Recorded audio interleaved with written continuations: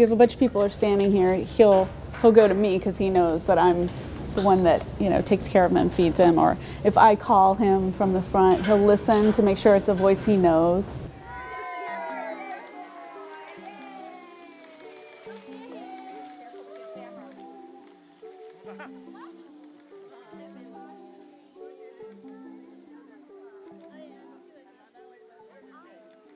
My name is Laurie Thompson, and I am the assistant curator of Giant Pandas, and I have been here for 25 years. When Bei Bei was born, Bei Bei was a twin, and we don't know if he was the firstborn or the second one. Bei Bei just coincidentally was the one that we were able to retrieve, and we know that because he was the larger cub.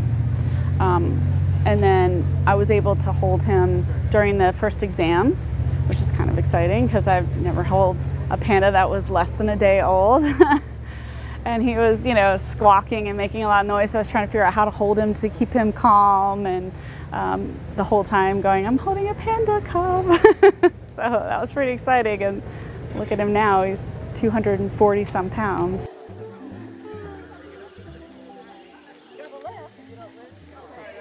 As we are on the flight, um, Bei Bei will be in his crate, which is actually a very large crate for him, so he can move around a bit. Um, and we'll just feed him as he needs to be fed, um, his normal, you know, bamboo and all of the other apples and carrots and sweet potatoes and things that he wants.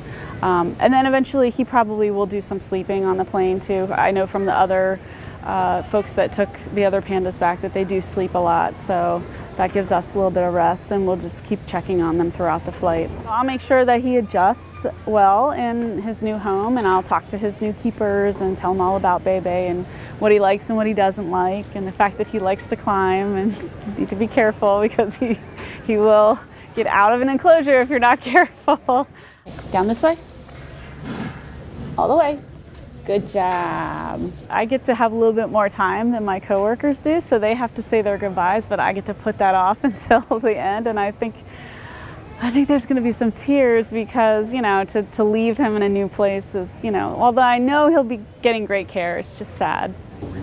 Yeah, so he's trying anything to get this last piece of apple. What can we do? Oh, you're going to talk now? Was that him? Are you talking? Yeah, that was him. That little squeak? Mm-hmm. You can talk?